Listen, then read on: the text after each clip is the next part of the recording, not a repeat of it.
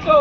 Vote नहीं। Road नहीं तो। वोट नहीं। ये बहिष्कार ये हम लोगों ने प्रण लिया है और संकल्प लिया है कि वोट का बहिष्कार इस दफ़ा देश में लोकसभा चुनाव का बिगुल बज चुका है। 19 अप्रैल को पहले चरण का मतदान होना है। ऐसे में देश में आचार संहिता लगने के दूसरे दिन ही संगम नगरी प्रयागराज के पौष इलाके से अनोखी तस्वीर सामने आई है। शहर के झलवा स्थित इरवो कॉलोनी के लोगों ने रोड नहीं तो वोट नहीं का एक बैनर लगाकर आगामी चुनाव का बहिष्कार किया है। कॉलोनी के गेट के बाहर भारी संख्या में लोगों ने प्रदर्शन किया।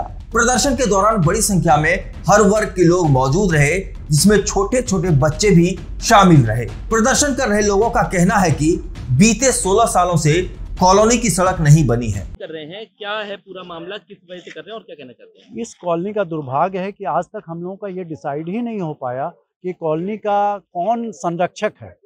हम लोगों के कॉलोनी से एक लाख पच, एक करोड़ पचास लाख रुपए टैक्स सालाना जा रहा है। किंतु सुधी लेने वाला कोई नहीं है। पीडीए के पास जाओ तो कहता है कि हमारे पास नहीं है ये।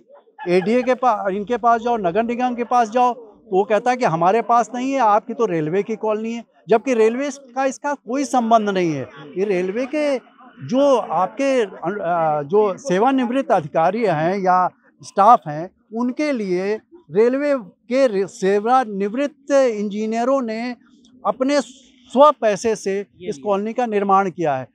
एडीए ने ज़मीन दी बाकी सारा अनुरक्षण उनका है। हमने सिर्फ़ जो है अपना निर्माण किया है और अपने पैसे से उसका निर्माण किया है। आप लोग करोड़ के आसपास टैक्स भी डेढ़ करोड़ रुपए हमारे यहाँ से टैक्स जा रहा है।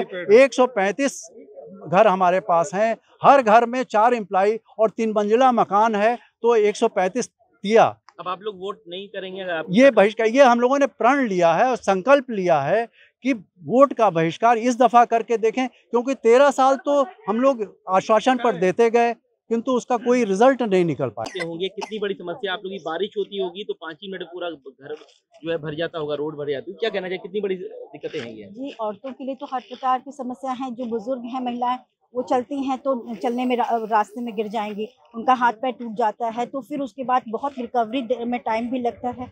छोटे बच्चे हैं जो बहुत छोटे हैं वो भी चलते चलते गिर जाते हैं। इसके बाद जो बच्चे थोड़े साइकिलिंग करने वाले हैं वो साइकिल चलाते हैं तो भी जो है उनको एक्सीडेंट हो जाते हैं। इस तरह की समस्याएँ आती हैं। हम महिलाओं को भी थोड़ा टहलने में दिक्कतें आती हैं। हर तरीके से दिक्कतें आती हैं। और जो है बड़ी गाड़ियाँ आ जाती हैं तो बहुत दिक्कत कहीं मांग है हमारी बस यही मांग है कि हमारी सड़क पूरी अच्छे से बननी चाहिए। बस और कोई मांग नहीं। क्या नाम है आपका? है और क्या कह रहा है? अब हम लोग यही बोलना चाह रहे हैं कि इस कॉलोनी की रोड गाँव से भी बदतर है।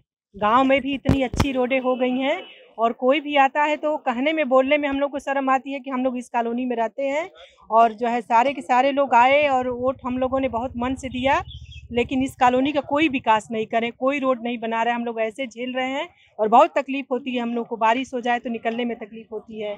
रोड ठीक है। रोड नहीं है तो वोट नहीं देंगे। हाँ रोड अगर नहीं बनेगा तो हम लोग हम लोग वोट नहीं देंगे हम लोग वोट का बहिष्कार कर चुके हैं। गौरतलब है कि चुनाव आने से पहले ऐसी तस्वीरें ग्रामीण इलाकों में देखी जाती थी।